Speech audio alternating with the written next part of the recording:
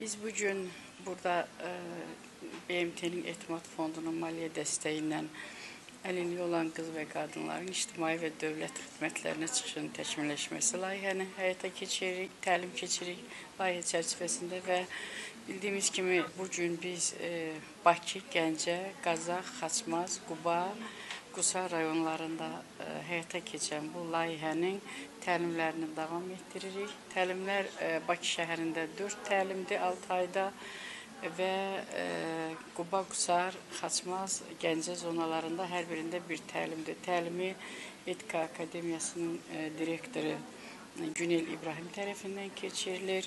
Məqsədimiz e, dövlət qurumlarının e, əlilliyi olan insanlara yanaşması, ümumiyyətlə iş yerlərində müəyyən elə normalar var ki, e, insan hər şeyi bilə bilməz. Onların öyrənilməsi, təlimləndirilməsi və onların özləri tərəfindən iş yerlərində öz iş yoldaşlarına təlimlərin keçirilməsi mahiyyəti irəli gəlir və layihə böyük bir geniş bir formadadır. Layihədə çox maraqlı nüanslarımız var.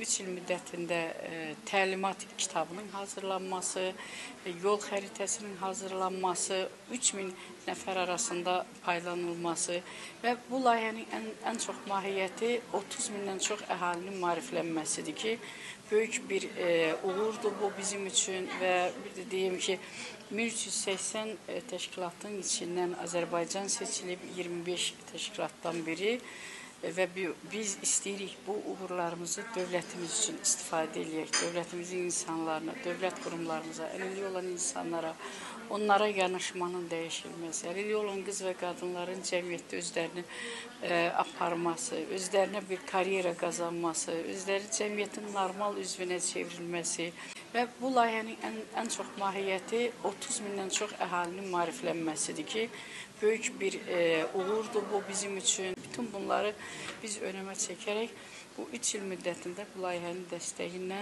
e, böyük işlər görəcəyik inşallah.